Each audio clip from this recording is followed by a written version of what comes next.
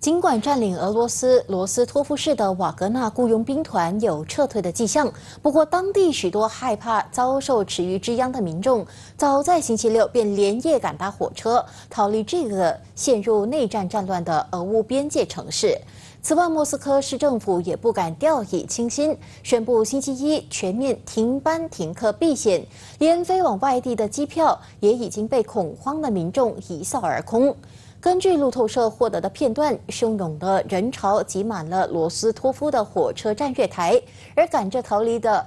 男女老幼不惜挤到火车轨道上，凸显他们迫不及待离开的心情。与此同时，虽然莫斯科表面一片平静，但是内部暗流汹涌，许多中上阶层都出国避难。根据德国媒体报道，从莫斯科飞往多个城市的航班机票火速卖完，包括格鲁吉亚首都第比利斯、哈萨克的阿斯塔纳以及土耳其最大城市伊斯坦布尔。